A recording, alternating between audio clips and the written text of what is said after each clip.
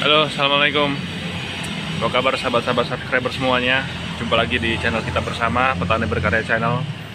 Pada kesempatan yang berbahagia ini ada yang berbahagia. Saya berada di di mana ini? Di Indomaret.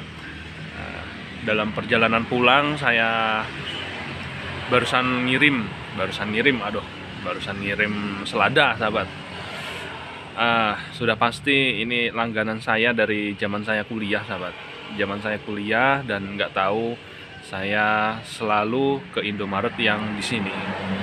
Saya setia dengan Indomaret sini dan kadang-kadang promo juga, sahabat. dan saya sedikit cerita pengalaman-pengalaman saya tadi sebelum pengiriman selada. Wah, luar biasa rintangannya tiba-tiba ya nomor satu adalah ban motor ayah saya yang Supra X itu pecah di belakang yang belakang. Udah saya taruh ke tempatnya Lek Narno yang bisa nambal ban ya. Setelah itu oke santai dulu. Saya pulang dulu ya karena deket gitu. Sambil nunggu pecah sambil nunggu nambal ban tadi. Setelah itu saya nunggu dulu gitu kan ada ada mertua datang menggunakan motor Suprafit. Nah ini ada motor Suprafit nih. Saya pakai ini sahabat. Nah setelah itu sahabat di perjalanan di jalan tadi wah saya padahal pakai helm ya pakai helm pakai masker dan ada kejadian yang luar biasa membuat saya hati saya ini uh gitu. Nggak tahu ada yang masuk uh, tawon kayaknya sahabat. Tawon. Tahu tawon ya. Tawon itu masuk dan menghinggapi mata saya dan mata saya disengat. Ini mata saya disengat sahabat. Jadi aduh. Jadi di jalan tadi kayak gini kayak gini aja mata saya. Luar biasa pokoknya. Sampai enggak diterusin enggak nih? Terusin enggak sampai pering sewu di dalam hati saya kan? Saya mau saya tadi rencana mau nelpon bro Panji Mas Panji Gondrong uh, sampai di Palbesi tadi.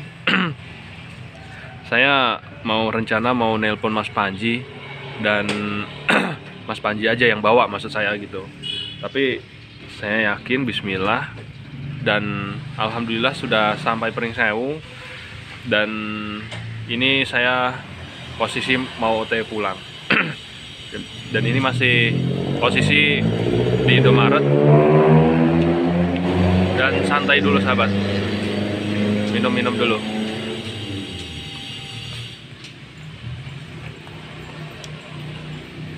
Oke, saya beli, beli ini. Minuman. Minuman segar sahabat.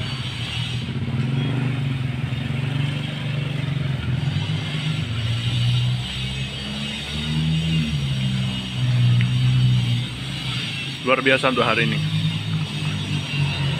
jadi ya seperti itu kegiatan saya di di hari ini hari Jumat. Jadi di di hati saya Bismillah saya niat ikhlas karena Allah Subhanahu Wa Taala untuk mencari sebuah rezeki dan alhamdulillah sudah posisi posisi pulang ini ya belum sampai rumah. Doakan sahabat ya sampai rumah. Dan ini ada di kardus. Sudah pasti saya ketika mengirim sebuah uh, apa sayuran selada atau seledri itu sudah pasti uh, satu atau dua saya beli susu buat anak ya. Ini saya saya beli empat dan saya beli roti dan saya hanya cukup ini aja.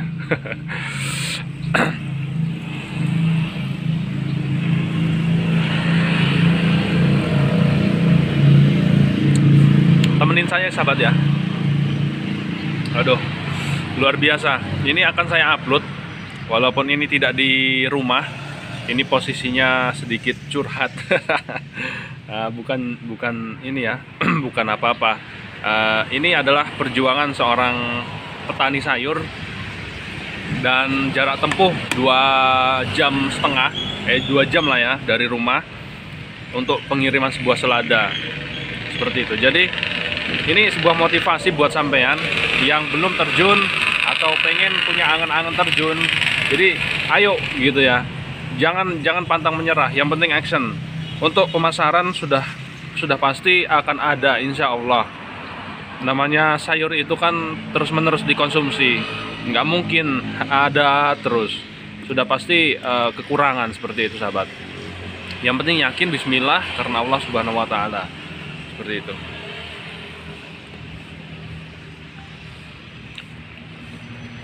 ini mata saya masih perih sahabat. Tapi agak mendingan daripada saya saya di barusan dientup tadi dan langsung OTW langsung OTW ke sini ke Pringsewu waduh luar biasa. Ini tadi air mata mengalir terus sahabat. Nggak tahu bukan saya nangis ya.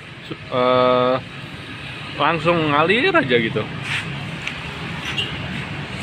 Dibuang-buang sampah jangan sembarangan oke sahabat saya akan melanjutkan perjalanan saya. Dan inilah nih ya. Ini motor motor mertua saya. Saya belum ada motor sahabat. Saya tidak ada motor dan saya masih menggunakan motor mertua saya. Oke sahabat sebagai motivasi tadi ayo nandur semangat bismillah karena Allah subhanahu wa ta'ala. Terima kasih. Assalamualaikum warahmatullahi wabarakatuh